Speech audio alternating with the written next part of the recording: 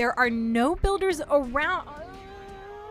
Yep, that builder's just out of range from doing anything to that scatter shot. So it already does have some damage down, which is perfect.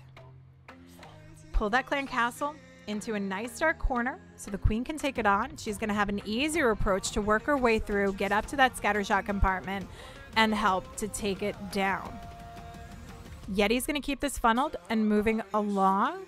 We have yet to, to drop the king, but we'll need the power of him and the yak to kind of beat through the walls and get through that multi-compartment since we only have one super wall breaker.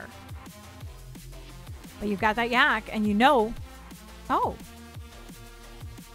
oh, is that what he opens up?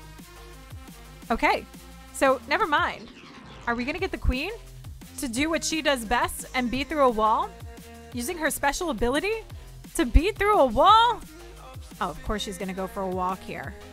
Of course she goes for a walk, but we do reserve the ability. Let's see if she makes her way through. Oh, sneaky, sneaky gets those loons to come in and do the job.